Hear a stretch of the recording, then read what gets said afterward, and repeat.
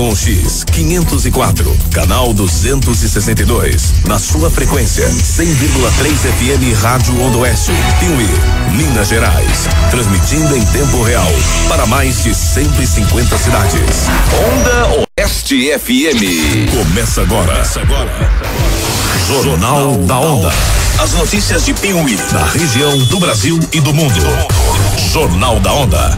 Informação e prestação de serviço. No ar. Jornal da Onda. Olá, bom dia, 8 horas e 30 minutos. Quinta-feira, 3 de janeiro, está no ar mais uma edição do Jornal da Onda. Bom dia, Roseli, bom dia, Jonathan. Bom dia, Jonathan. Bom dia, Edgar. Bom dia a todos os ouvintes. Olá, Roseli. Olá, ouvintes. Olá, Edgar. Bom dia. Estamos ao vivo pelas nossas mídias sociais, em imagem no Facebook Onda Oeste FM Oficial e em nosso aplicativo. Também em nosso canal no YouTube, no nosso site ondaoestefm.com.br e no FM 100,3. E vamos aos destaques desta edição. Informação falsa sobre o pagamento do DPVAT gera transtorno. O Jornal da Onda ouviu um despachante piuiense. Prefeito Deco participa de cerimônia de posse do novo governador de Minas. Jornal da Onda entrevista piuienses sobre expectativas com os novos governantes do Brasil e de Minas. Governador Romeu Zema diz que vai morar em casa alugada na Pampulha e não no Palácio das Mangabeiras. Bolsonaro assina decreto que fixa salário mínimo em 998 reais para 2019. Essas e outras notícias você confere agora no Jornal da Onda. Participe do jornalismo da Onda Oeste FM, mandando sua sugestão, flagrante, foto ou vídeo para o departamento de jornalismo pelo WhatsApp, WhatsApp 37 9816 1003. No Jornal da Onda, as notícias de Piuí. 8 horas 32 minutos. Olha, ontem uma informação falsa circulou nas redes sociais sobre o desconto dado para quem pagasse o seguro DPVAT, que é o danos pessoais causados por veículos automotores de via terrestre, apenas até ontem, dia 2 de janeiro, quarta-feira. Muitos ouvintes ligaram na redação do Jornal da Onda para saber, mas não era verdade não houve desconto, já que o valor é tabelado. Na verdade, para 2019, o seguro teve uma redução média de 63,3% aprovada pelo Conselho Nacional de Seguros Privados. Assim, o DPVAT poderá ser pago até o vencimento da primeira parcela do Imposto sobre a Propriedade de Veículos Automotores, IPVA, ou na quitação total, programada para o mês de janeiro. A data varia conforme a placa do veículo.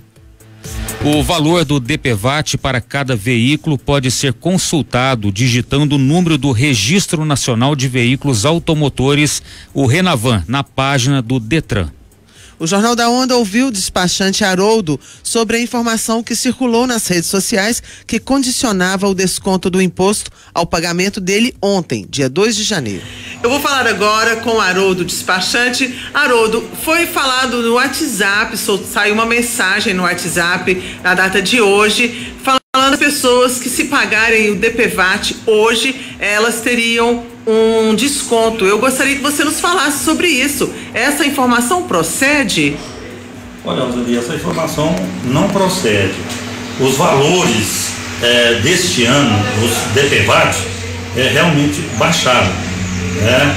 Tanto para moto, veículo, caminhão, todos esses seguros baixaram esse ano. Se eles realmente vai, vai aumentar, eu não posso sim prever, mas a, a informação que eu tenho oficial aqui são que os valores baixaram.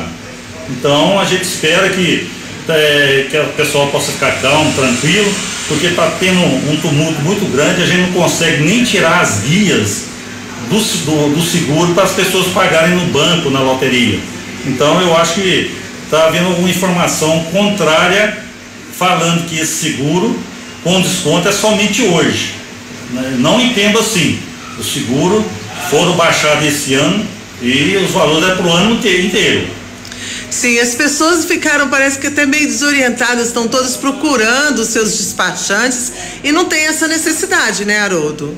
Não há, não há essa necessidade, porque o sistema, inclusive, a gente não está conseguindo tirar as guias, né? Aí é, todo mundo está procurando e aí a gente não consegue tirar, atender, e está ficando difícil. Então eu acho que as pessoas podem ter calma, tranquilidade, que essas coisas no decorrer dos dias aí vai ser solucionadas. Sim, e quais as, eh, quais as datas para os pagamentos dos IPVAs, dos, e juntamente com os seguros? Isso, é, vai, tudo é esse mês mesmo. Começa dia 14, placa 1 e 2.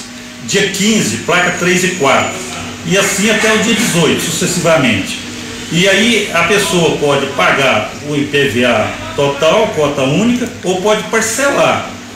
Deve pagar a primeira parcela junto com o seguro e a taxa de licenciamento a pessoa pode deixar pagar junto com a terceira cota.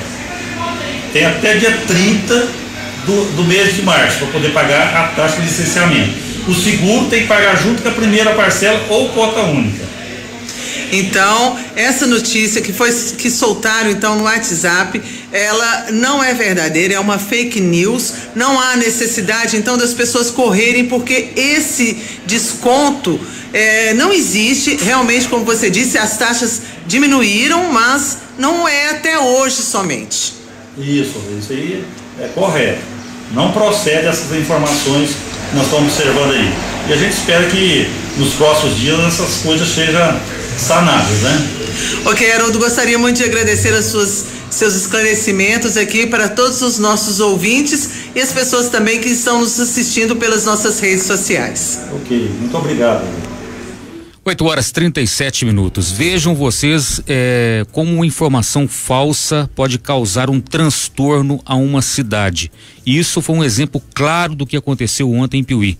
Muitos né, proprietários de veículos estavam alvoraçados, né, preocupados, correndo atrás desse desconto e lotérica estava lotada, despachantes, né, telefone tocando toda hora, nos bancos também, o pessoal queria aproveitar esse desconto. Na verdade, não se tratava de um desconto, não é mesmo, Roseli? E as pessoas foram vítimas, mais uma vez, da chamada fake news, notícias, notícia falsa. O que que acontece, gente? Quando você receber essa informação no WhatsApp, é aquilo que eu disse, a- que eu disse, não, a gente fala sempre aqui no Jornal da Onda, a mídia toda trabalha em cima disso. Cheque a informação primeiro antes de repassar. Porque eu posso, veja bem, isso, estou, estou apenas dando um exemplo. Eu posso agora pegar o meu aparelho de celular e fazer uma, digitar um texto aqui dizendo que a prefeitura de Piuí vai isentar o IPTU das pessoas e soltar isso na rede. E uma pessoa vai ver aquilo lá, uma pessoa, né, que não tem maldade nenhuma, vai acreditar nessa informação e vai replicar isso para os vários outros amigos, grupos, e isso vira transtorno na cidade. Então tem que tomar cuidado com o que passa, com o que transmite, né, com o que compartilha. E também, quando receber essa informação, é, checar primeiro. Liga na emissora de rádio, liga na polícia, liga no despachante, para não criar esse alvoroço todo que foi feito em Piuí e não só em Piuí, em muitas outras cidades, porque esse tema foi notícia na imprensa mineira toda ontem. Então fica aí o alerta. Temos que ter sim um pouco mais de maldade, de malícia em relação a essas notícias que recebemos a toda hora eh, em nosso telefone. E por outro lado também eu quero aqui eh, demonstrar a minha alegria de mais uma vez o Jornal da Onda está prestando um serviço para a população em dois sentidos. Nós recebemos ontem a ligação de um ouvinte preocupado com isso, falou Edgar, o que está acontecendo? Você sabe me dizer? Nós fomos apurar isso, né? Agradecer muito ao despachante Haroldo que prontamente atendeu a repórter Roseli e passou todos os esclarecimentos de uma forma bem didática, bem esclarecedora e nós pudemos imediatamente, né, acabar com essa fake news publicando nos grupos de WhatsApp a informação verdadeira. Então isso é motivo de orgulho para nós de poder prestar esse serviço para nossa eh, comunidade de Piuí, que também espalhou por toda a região e de certa forma ajudou muitas pessoas a acalmar os ânimos em relação a isso. 8 horas e 40 minutos. O Jornal da Onda foi à Feira Livre ontem à noite, a Feira Livre de Piuí. E para saber a expectativa do piuiense, o que ele espera do novo governador de Minas, Romeu Zema, e também no novo presidente do Brasil, Jair Bolsonaro. Foram homens e mulheres, representantes de vários setores, que se manifestaram e falaram ao Jornal da Onda. Vamos ouvir.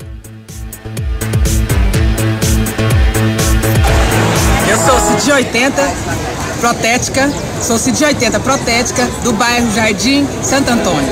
O que, eu espero do governo de Minas? Que, em primeiro lugar, né, gente, que ele ajuste o salário do funcionário público, né? E do governo do Brasil, que eu acho que veio mesmo para mudança, né? Vai ser o choque das mudanças para melhorar tudo no nosso Brasil que a gente precisa, principalmente a corrupção. E é isso. Sou Carlinhos Leonel funcionário público estadual, morador aqui da Praça Francisco Campos, centro. Tenho muito otimismo com relação aos governos que estão chegando aí, batendo a porta de cada brasileiro. Com relação ao governo do Estado, Romeu Zema tem escolhido um ótimo secretariado, pessoas de alta relação no nosso sistema político, não só mineiro como brasileiro, pessoas de alto quilate, muito importante. Acredito muito no governo de Romeu Zema. Sei que necessitará de um trabalho longo e duradouro mesmo para chegar no denominador comum que Minas Gerais precisa. Com relação ao nosso governo federal, não é muito diferente. A crise assolou, quase que dizer assim, o mundo, principalmente o Brasil e nossas Minas Gerais. Acredito muito no governo de Jair Messias Bolsonaro. Tem também um excelente ministério foi escolhido com competência, com pessoas tecnicamente conhecedoras do trabalho que vão realizar. Então vamos torcer, cada brasileiro, cada mineiro, acreditar nesses governos, que o futuro está próximo a chegar com muita alegria para todos os brasileiros. Eu sou, eu sou Antônio Wilson, eu, eu sou Gari, eu moro no Baixo São José Tadeu. O governo de Minas eu espero melhoria para nós todos.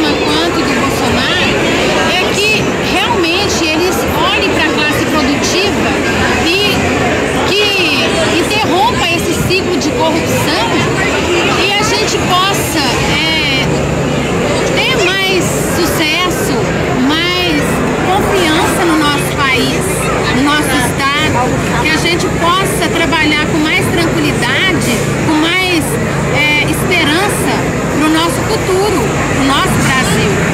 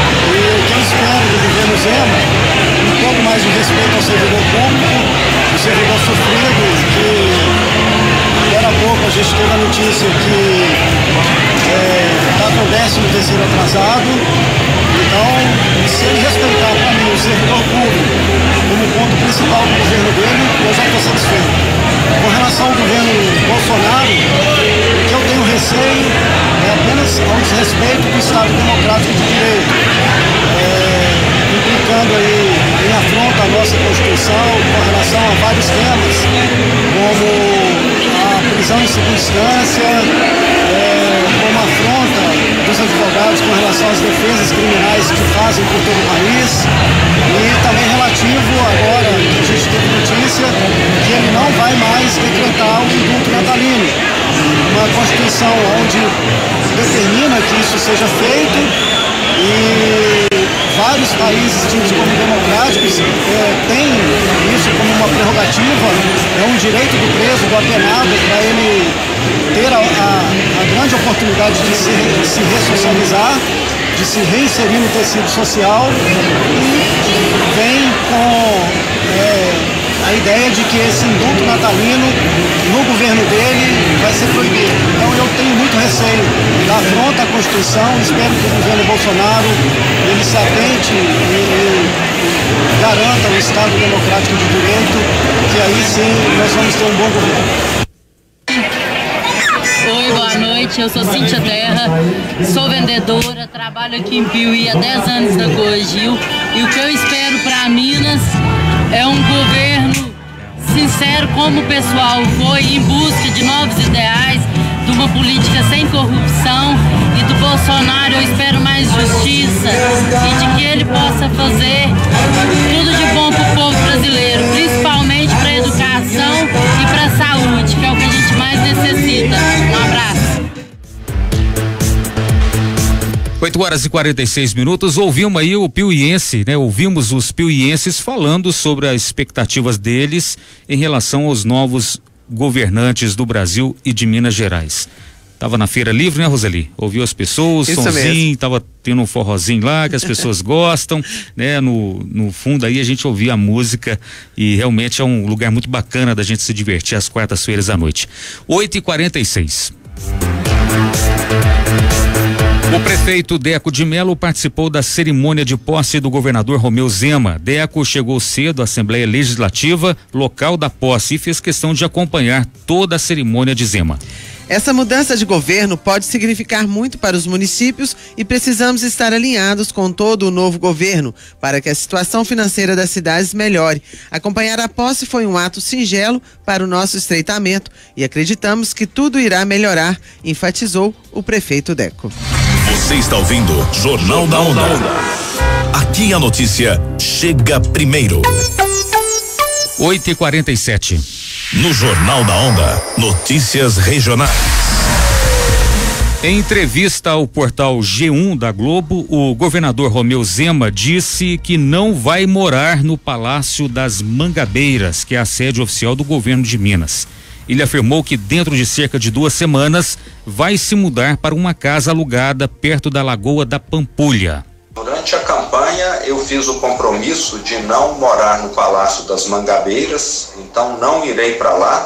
Já aluguei uma casa aqui próxima à Lagoa da Pampulha, e inclusive fica bem próximo do centro administrativo. Foi é, muito visando essa facilidade de transporte para o trabalho que eu aluguei essa casa e devo estar mudando para ela. Eu penso que nos próximos 15 dias ela deve estar já mobiliada e eu estarei mudando. E é uma casa que eu estou pagando aluguel, eu estou mobiliando e que não vai ter custo para os cofres públicos. Em relação ao 13 terceiro, o novo governador ainda não tem previsão de data para o pagamento do benefício. Segundo Zema, vamos ouvir. É, infelizmente o 13 terceiro ficou suspenso e somente a partir de hoje é que nós estamos tendo acesso às senhas que vão nos dar é, acesso às informações financeiras do Estado. Então, nesse momento, hoje é dia 2 de janeiro, é o nosso primeiro dia de governo, eu ainda não tenho noção de como está a situação de caixa do Estado, somente a partir de hoje é que nós vamos estar levantando, mas com toda certeza isso não vai ser pago tão cedo porque se fosse fácil já teria sido pago. E lembro que muitas prefeituras já estão há meses com os recursos retidos também pelo Estado, mas assim que nós levantarmos os dados, nós vamos fazer uma previsão. Porque a última coisa que eu quero é deixar as pessoas é, ignorando como está a situação. Nesse ponto, nós vamos ser muito transparentes. Se tivermos de falar o 13 terceiro não tem condição de ser pago, é o que nós vamos falar. Nós vamos ser realistas, deixar tudo aberto e transparente, inclusive porque eu não quero ter questionamento que eu é que estou provocando essa situação. Então vamos ser o mais transparentes possíveis. Durante a campanha, o governador firmou o compromisso de não receber salário enquanto não colocar o pagamento dos servidores em dia, assinando inclusive um termo em cartório. Entretanto, o governador disse que não poderá, de fato, cumprir essa promessa de abrir mão do recebimento do salário, já que o, o, não pagamento seria vetado por questões legais. Mas mesmo assim, Romeu Zema disse que vai receber o salário e fazer a doação. Questão, ela, nós assumimos esse compromisso, mas fomos informados a questão aí de uma, duas semanas que por questões legais o Estado não pode suspender pagamento de quem trabalha ao Estado.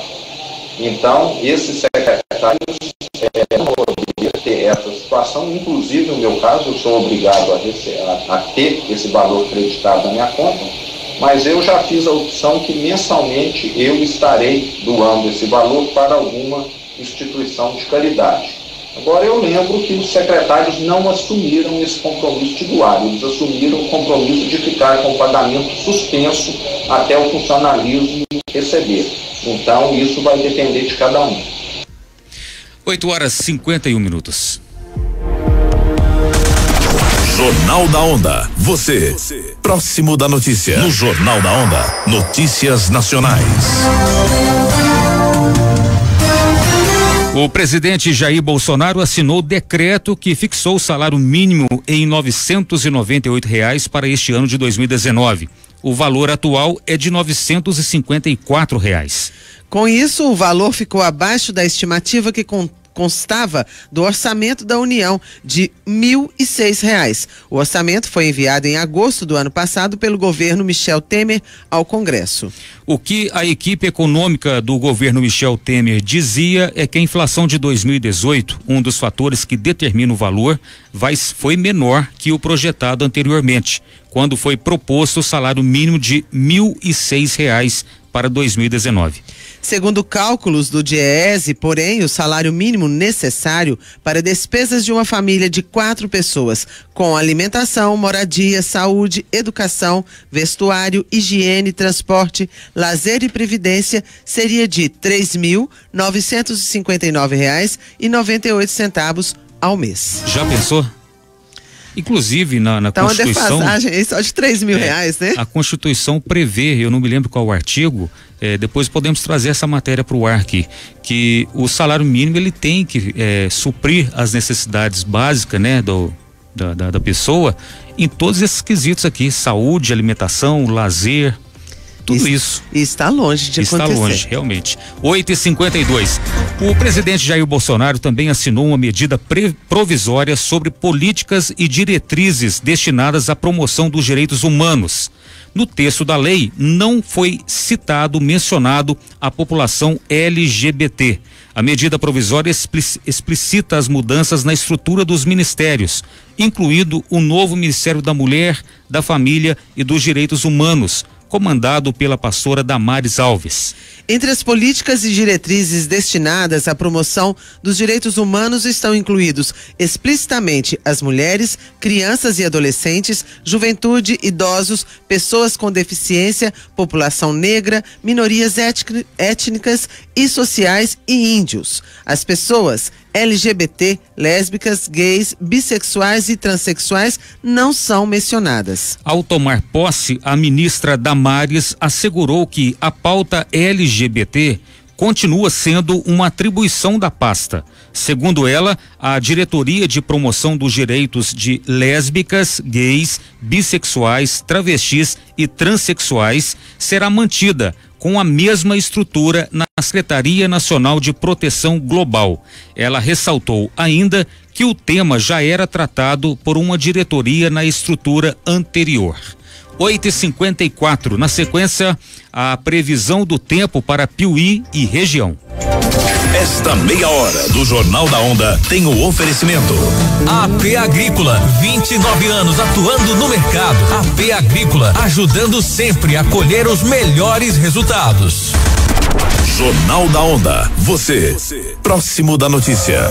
Jornal da Onda e a previsão do tempo.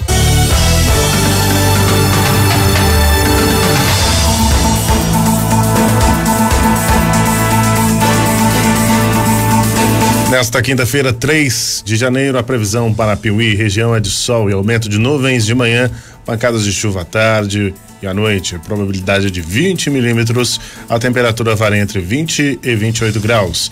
A umidade relativa do ar chega a 60 a 97%. As informações são do site Clima Tempo. Você, próximo da notícia. Jornal da Onda. 8 horas e 55 minutos. Sua participação no Jornal da Onda é muito importante. Mande sugestões de notícias do que está acontecendo em sua rua, em seu bairro e na cidade.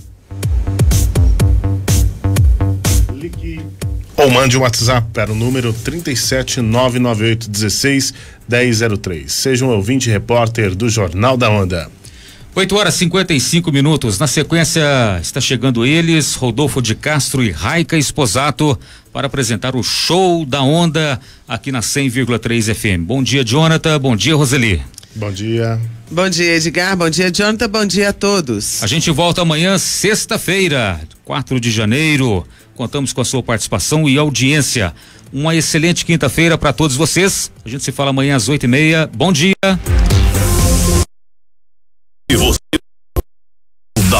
Informação, informação e prestação de serviço. Jornal da Onda.